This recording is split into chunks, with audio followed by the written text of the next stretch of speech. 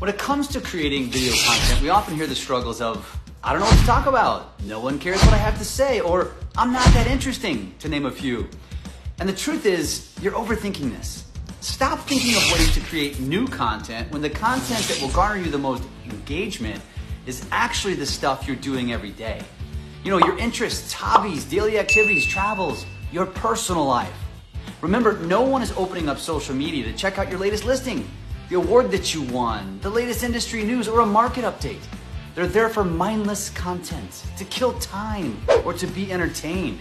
Your audience is interested in who you are as a human, not what you have to sell. In fact, most of your audience is turned off by you selling. So stop overthinking and start documenting your life. If you're into gardening, create content around that. If you play golf, Shoot more videos while golfing. If you're an expert at binge watching movies on Netflix, create content around those shows. Give reviews, share more often. It doesn't matter what you're into, there are probably hundreds, if not thousands, who will relate to it, engage it, become loyal followers, and ultimately, loyal customers. It's really that simple. And there's very few who execute on this strategy, which means lots of opportunity for you. So what are you waiting for? Stop watching me and start creating your own content.